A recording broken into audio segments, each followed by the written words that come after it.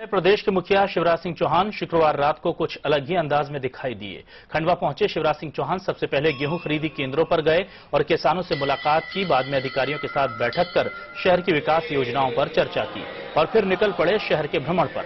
मुख्यमंत्री शहर के दादाजी मंदिर पहुँचे और वहाँ मत्था टेका, फिर बाज़ार में लोगों से मुलाकात की।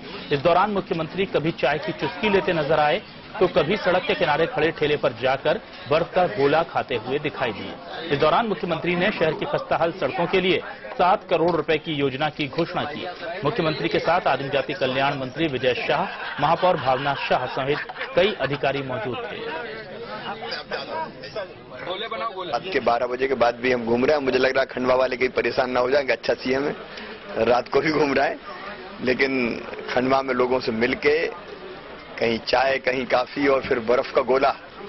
खा के जो आनंद आया, उसने बचपन की आदत ताजी कर दी। पहले हमारे गाँव में साइकिल पे आती थी, कुल्फी।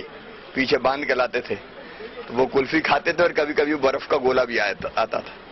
मैं समझता हूँ कि लगभग 25-30 साल बाद आज बर्फ़ का गोला खाया होगा।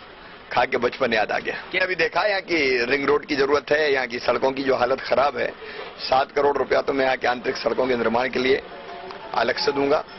उसके अतिरिक्त यहाँ के जो तीन सड़कें ऐसी जो आरडीसी के अंतर्गत आती है, उनका शहर वाला जो पोर्शन है, मैंने कहा है कि प्रपोजल बना लें ताकि वो सड़कें शानदार बन सके, बढ़िया बन सके, शहर वाले हिस्से में रोड डेवलपमेंट कारपोरेशन से बनवाने का हम काम करेंगे। आज बहुत ही खुशी का दिन है कि सीएम साहब आदरणीय हमारे यहाँ पधारे खंडवा शहर में, जिससे पूरी जनता भी खुशी है और हमारे यहाँ बर्फ़ गोले खाए, शरबत पिए। मेरे साथ जो सेवा हो सके, मैंने दिल से करी है।